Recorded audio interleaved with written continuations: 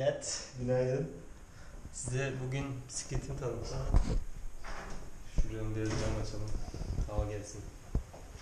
Sesimiz yankı yapmasın gençler. Değil mi?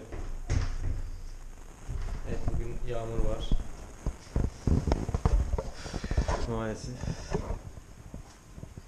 Evet sayın seyirciler görüyorsunuz bisikletimiz Mosso 681 XC modelimiz. Modelimiz çok güzel, aerodinamik, çok estetik, biraz çamurlu.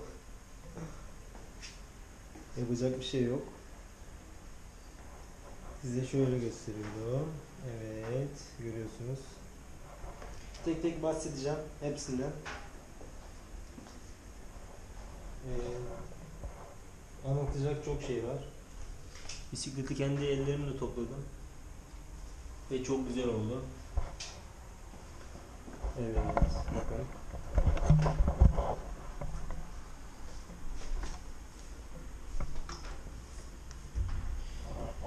Şimdi arkadaşlar nereden başlayalım? Bence kadrodan başlayalım tabii ki.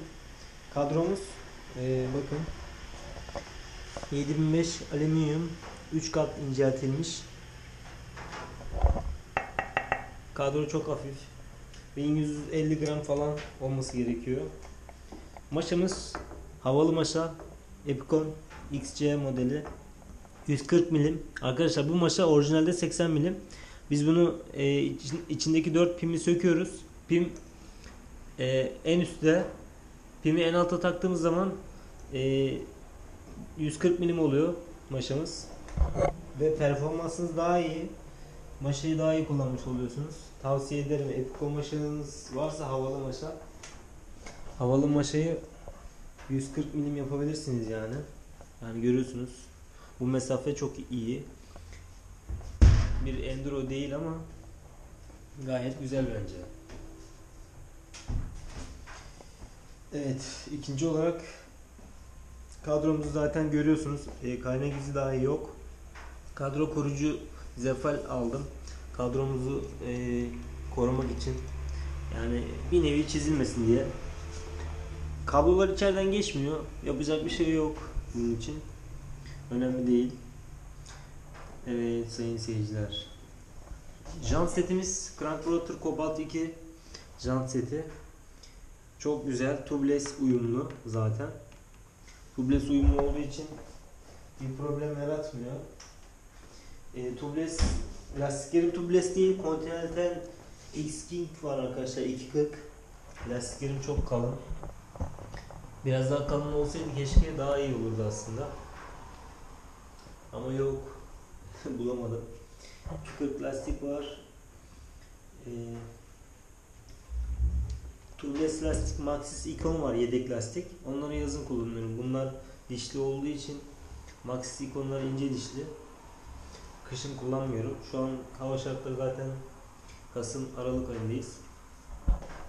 Çok zorlayıcı. Çamurlarda zor oluyor. Evet, ön jantımız da Grand Rotor Cobalt 2. Takım zaten. Evet, görüyorsunuz Cobalt. Yine lastikler X-King 240. Maşamızın lastiği var. Ee, başka ne dedim arkadaşlar? Maşamız kilitli maşa. Son sortörün basit kilitleme yöntemleri işte. Önemli değil. Evet, gelelim frenlere. Frenler Sıramın Avit Elixir 9 modeli, karbon modeli arkadaşlar. Frenlerim çok sağlam, canavar gibi. Hiçbir problem yaşamadım frenlerde şimdiye kadar. Görüyorsunuz. Evet, rotorlarım alligator, alligator, alligator.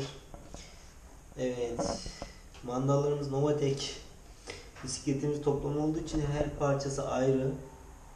160 milim rotor var gençler. 160 milim rotorumuz var burada. Gayet ideal. Hiçbir problem yaşamadım. Ben o kadar ağır yük binmiyorum. Basmıyorum. Gidon boğazımız crank rotor yine. Gidon borumuz crank rotor. Evet, elcikler sıram arkadaşlar. Vites kollarımız sıram XO. Diğer vites kolumuz da XO. Yine iki frende Avid Elixir 9. Evet, sele borumuz Cobalt 2. Gayet alüminyum hafif. Ee, sele mandalımız, kelepçemiz XVC. Aynı renk olsun diye XVC bulabildim. Crackbrotter'ın yoktu. Evet işte bebeğim burada. Fizik. Fizik önemli arkadaşlar.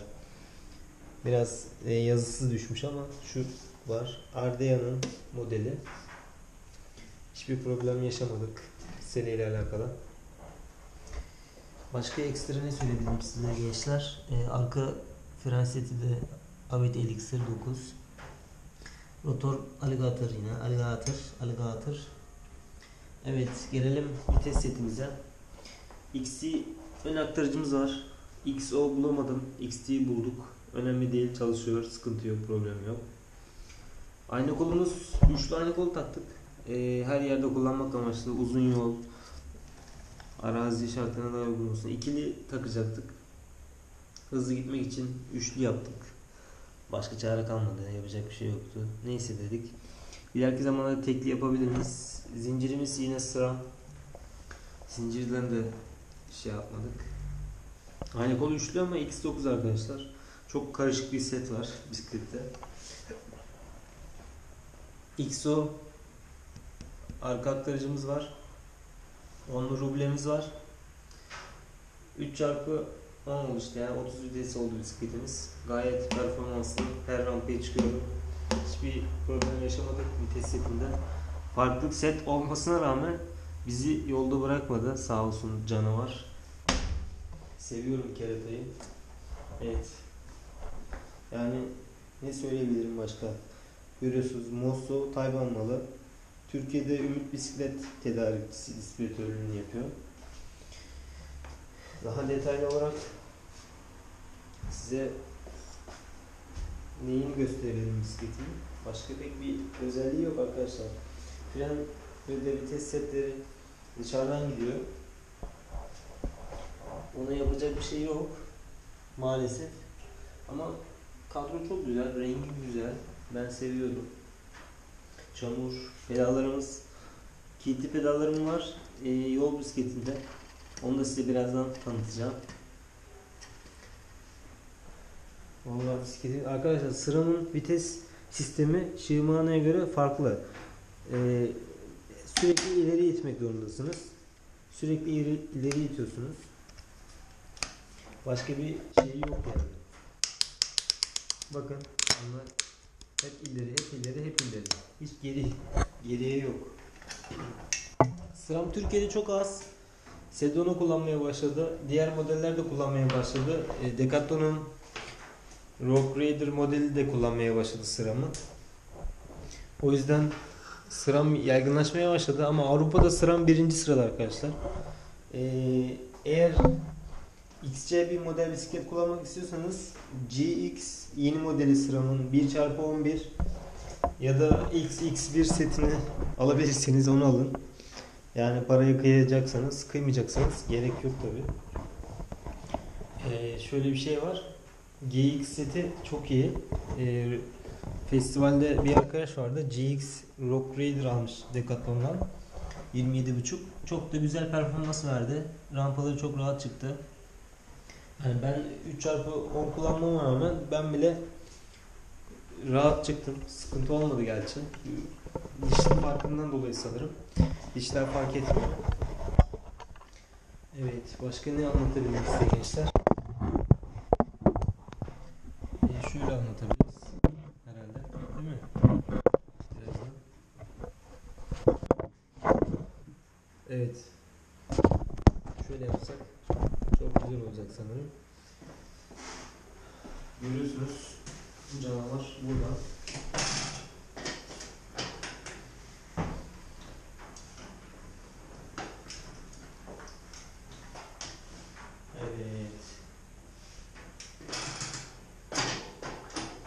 Bakın canavar burada arkadaşlar.